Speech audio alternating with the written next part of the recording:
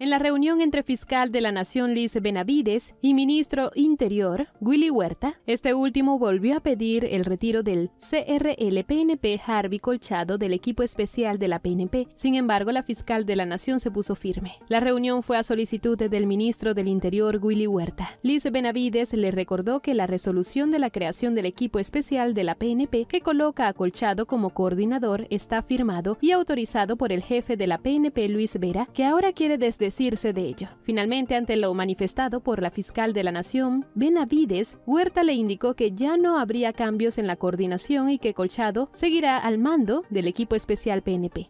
La reunión entre la FN Benavides y Huerta no duró más de 20 minutos y también estuvo presente el jefe de la PNP, Luis Vera. La fiscal de la Nación remarcó que la dirección de la investigación corresponde a la Fiscalía. Además, ya existe un equipo especial de la PNP con resolución ministerial vigente que apoya en la investigación del equipo especial de fiscales contra la corrupción, señaló el Ministerio Público. No hay nada que se pueda hacer, pues ya la decisión está tomada y el retiro no es una opción. Te invitamos a dejar tus opiniones en la parte de abajo, suscribirte a nuestro canal y darle a la campanita de notificaciones. Bye.